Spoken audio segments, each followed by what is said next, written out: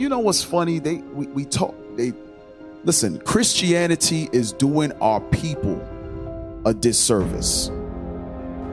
They are leading our people astray because they are making things up that are not in the scriptures.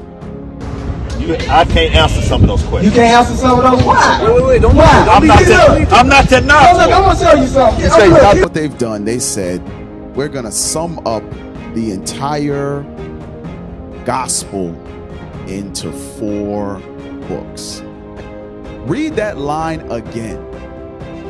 And the day of vengeance of our God. Wait a minute. That's the gospels. Right. Huh? Don't don't listen, don't let these lying Christians uh, uh, get to you. The gospels exceeds four books. They're trying to contain all of Christ's works, all of Christ's dealings, all of Christ's miracles, solely his prophecies, solely upon four books. But we're not going to try to put our Messiah in a box. Right. Who are you? No, no, no, no, no, no, no, no. We are not going to put our Messiah in a box because our Messiah, the black Messiah, showed us the Gospels is actually bigger than those four books.